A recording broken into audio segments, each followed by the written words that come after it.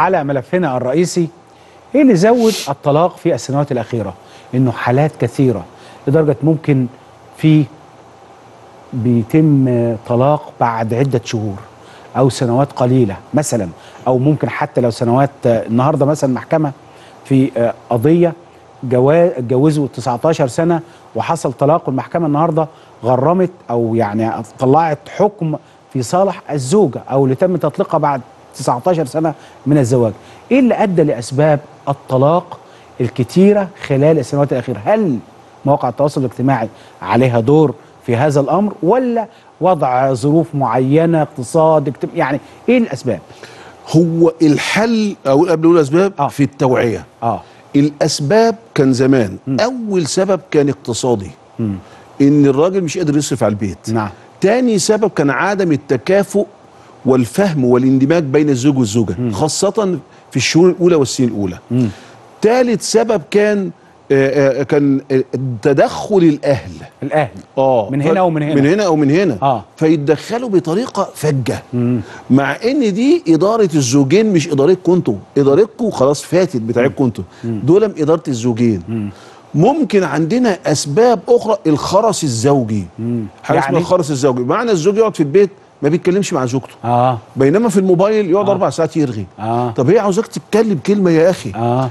ع- هي عمالة شغالة وتعبانة بره وجوه. نعم. طب ما تفكها كده وتتكلم. نعم. لا ما يعملش. الخرس الزوجي آه. سواء من الرجل هو أكثر آه. أو من الست ده سبب من أسباب الطلاق.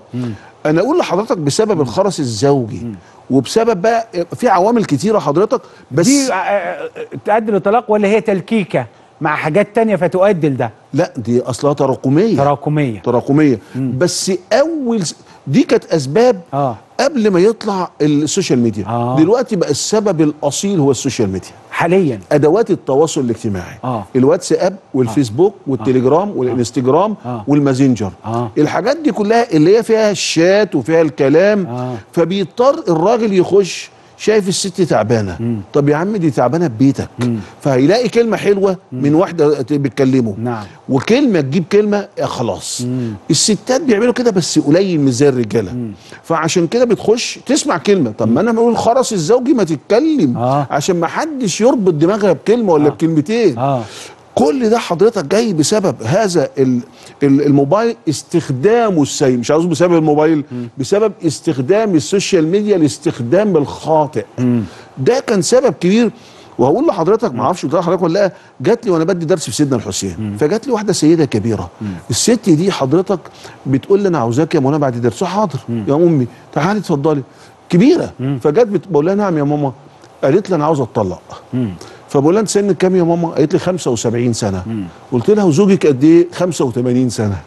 واخد بال حضرتك؟ 75 75 و 85 يعني دول لا يقل زواجهم عن 50 سنة. آه.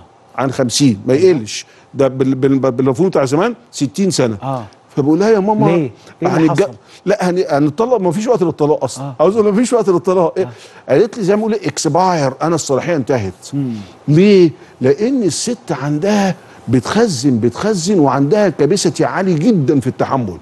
بس بتيجي في وقت من الأوقات تقول لك أنا مش متحمله جابت آخرها يعني. خلاص جابت آخرها. آه. يا ماما تقول لك خلاص يركن على جنب وأنا مش عاوزاه ومش عاوز اكل ولا يصرف عليا. وبعدين إيه؟ دول عندهم أحفاد واولاد أحفاد كمان. نعم. فده من إيه جاي؟ جاي من الأسباب دي دي من الحالات الغريبة طبعا طبعا من الحاجات الغريبة اللي أنا. استغربتها آه. يعني ممكن يجي لي 20 سنة آه. 25 سنة آه. متجوزين ودي غريبة برضو آه. لا وجايين إيه عاوزين يطلقوا ومعاهم أحفادهم يا عم طب وإيه مستقبل الأحفاد دول؟ يبقى دول. مش بكم بيطلقوا مش هيتجوزوا. آه. أنا بقول جرس إنذار ان بقول للي بيقبلوا على الطلاق البنات والشباب دلوقتي هيستغنوا بال social media عن الزواج. ليه؟ التجربة قدامهم بتبان إن هي فاشلة.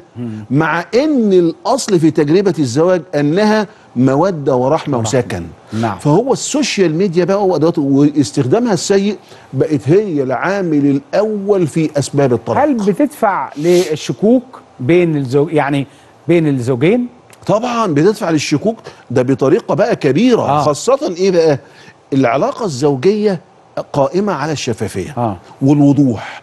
يعني وبالذات الستات عندها سنس عالي جدا وبتعرف بتلقط جوزها اللي بيعمل كده ولا كده. آه. فأنت أيها الرجل أنا عاوز أقول لك حاجة. الست دي بتعرف مش بيضحك عليها. تاني حاجة أنت ترضى إن الست بتاعتك الإنسان آه. البعيد ده. نعم. يعني تتكلم واحد وبعدين تخش في الكلام في طريق مسدود أو طريق ما يصحش هيقول لأ. طب أنت يعني إحنا في عصر السيد دلوقتي هو يعمل اللي هو عاوزه وهي متخزنة في البيت ما هو ما عادش كده. ما لو كانت الثقافة كده كان نقول ماشي. مع آه، انها فهو غلط. بيعمل وهي ممكن تعمل. آه. ممكن. ممكن. طبعا. عشان كده بتخرب البيوت بتخرب أو البي- البعض يعني. طبعا. بت... آه. لأ ده هو العامل الأساسي في. كده. العند والشك. والشك الشك الرهيب. لذلك أنا بقول الشك ده بتيجي الست بتتكلم وده أسباب طلاق برضو من أسباب الطلاق.